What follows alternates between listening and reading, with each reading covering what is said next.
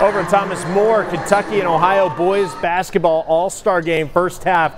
Elias Lewis with the steal to Austin Parks right on the rim, slams it home. Ohio looking strong early. Later, Laurent Rice to Nate Dudukovic, former Lakota West baller. Nice play there. Kentucky, though, was too strong. Jalen Davis on the drive. He misses, but Sierra Malonga slams it home with two hands. Kentucky wins 93 to 83.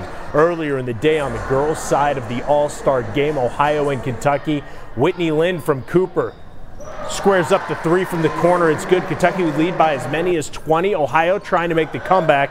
Great ball mood ends up to Ziara Miller from Walnut Hills. The bucket and the foul. I would spark a run. Later, Anna Swisshelm from West Clermont, the three from the corner is good. Ohio would get it down to as close as six points. Kentucky, though, just too strong. They take the All Star Classic 117 to 94.